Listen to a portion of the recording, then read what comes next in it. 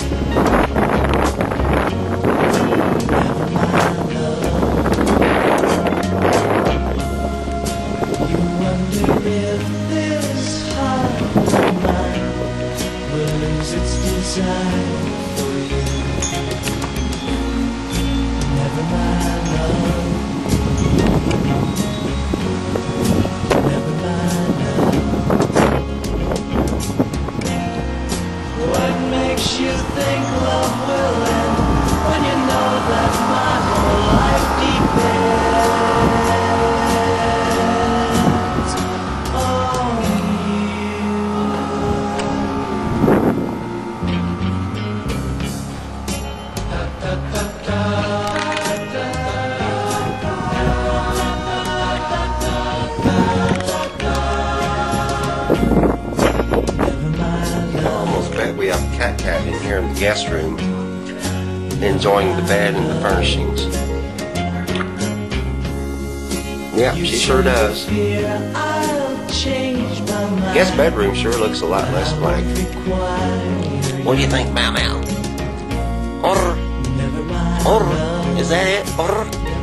Meow, meow, meow. Oh, tail rub, tail rub. Good stuff, good stuff. Meow, meow, meow. How can you think love will end when I've you to spend your whole life?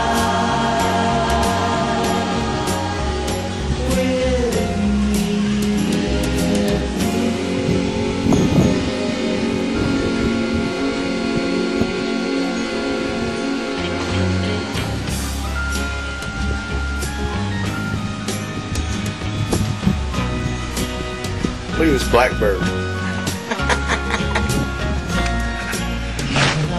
Came right up here close.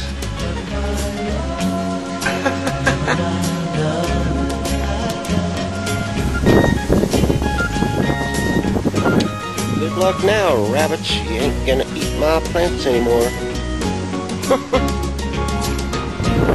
and of course, we have a surefire way to uh, grow a hydrangea on the west side of the house in direct sunlight.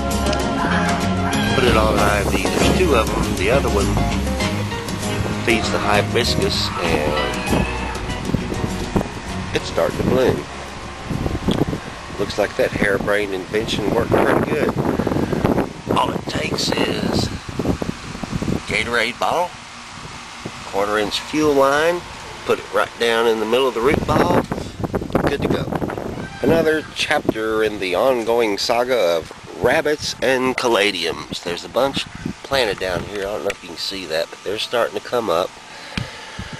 And I took some half inch mesh chicken wire, did it right inside the rocks. It goes up about 12 inches or so. Hopefully that'll ruin the rabbit's day and keep them out of the caladiums. They seem to have an appetite for them. I wanted to protect this little area because on this little cedar tree we have our prize bird feeder. The little cheapers just love it. They drain this thing at least once a day.